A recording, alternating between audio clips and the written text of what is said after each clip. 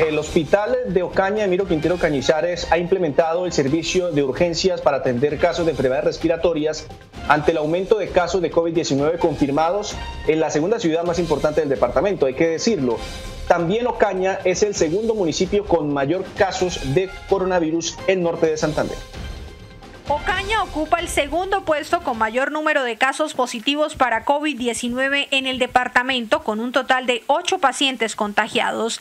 Ante esto, ¿qué tan preparado se encuentra el Hospital Emiro Quintero Cañizares para brindar atención en caso de registrarse una emergencia sanitaria? La capacidad instalada del hospital pues ha aumentado ya al tener un servicio de una urgencia respiratoria. Es decir, que la urgencia general, llamémosle urgencia general, donde siempre se ha atendido, Acá se atenderán las diferentes patologías y entre esos pues accidentes de tránsito, lesiones por arma blanca o lesiones por arma de fuego.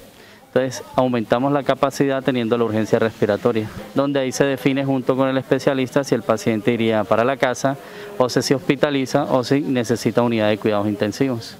Asimismo, todo paciente contagiado positivo para COVID-19 y que no cuenta con un criterio de hospitalización se le realiza un seguimiento médico desde casa. Se le inicia dependiendo el cuadro respiratorio que tenga, pues puede ser antibióticos o manejo allá en casa oral y seguido de una llamada telefónica diaria para ver la clínica del paciente cómo se está presentando.